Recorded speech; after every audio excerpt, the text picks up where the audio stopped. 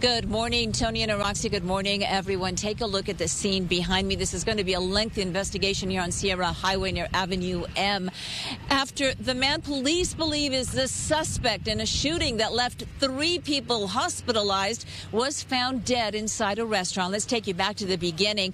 This is actually, let me show you the end. This is a woman that reportedly was rescued by the sheriff's SWAT team, Special Enforcement Bureau. Going in, it was believed she was being held hostage.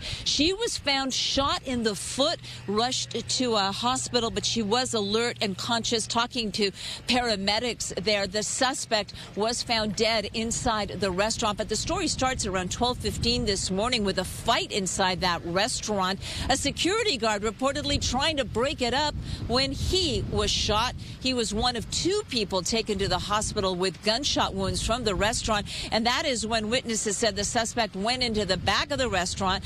Uh, the kitchen area, and there was concern he was holding hostages. Then it would unfold for the next three to four hours. Again, Special Enforcement Bureau called out. They did their best to get the suspect to come out, but they finally went in, rescued that woman, and the suspect is believed to be dead, but we are awaiting confirmation from the Sheriff's Department.